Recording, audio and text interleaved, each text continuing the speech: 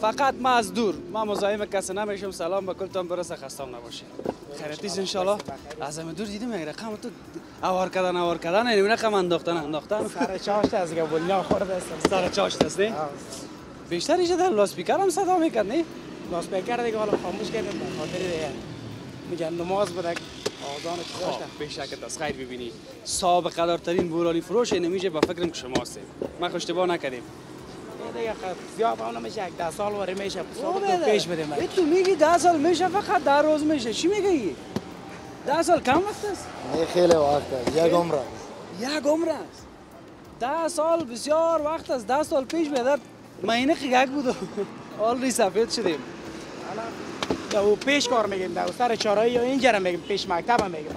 خب یک ده سال یعنی این میشه بودی دیگه. یعنی میشه هستی یعنی ایجا ده سال میشه پیش از پیش حساب کنه 18 سال میشه. پیش چی کار میگیم سر چارایی؟ خب. خود از از کرا دم اون دیگه اینجا اومدیم. اگر از چار از خود شاید شمشیره بگید باز باید این 18 سال دیگه. می یک دوی سایه یک ده سال 18 سال میشه کار چند نفر دیگه کراچی کار می‌کنی؟ این کراچی شش نفر. شش نفر. شش فامیل یعنی میچل از اینجا؟ آره شش فامیل میچنه بله بشک به خدا. راستی دمی 18 سال از این بولانی پزی چیزی پیدا کردی؟ نکردی. چی جور کردی؟ حالا یک یک آدم میگه در 18 سال همین کار کردی چی جور کردی؟ حالا ما شاگرد هستیم. بچه است یک کدامش با بدر میگن زنده زنده سرمایه جور کردی؟ ها؟ باز مقصد تو نشه کدام جنجال شه بگه این اصل گپ پرسان کردی اصل راز پرسان کردی. خوش باشین بخیر باشین. راز بگم امروز چقدر پولانی سودا می‌کنی؟ روز یک هزار دانه دوازده صد دانه میشه پنیر بگی است پاین بگی؟ ها. حال دای پاین بگی چی؟ چیز مندازی یا نه؟ حالا این قدر میل تصویرها با باز جداگانه ببینین خیر باشه. در کارتان برکت من رفتم دیگه بولانی پرد پردان شکر دو. که جور هستی. شکر که جور هستی. بخیر باشه. یه اینجا در پالو یکش دوغام داره. اینی بیشتر زیاد خنده می‌کرد. چرا خنده می‌کردی؟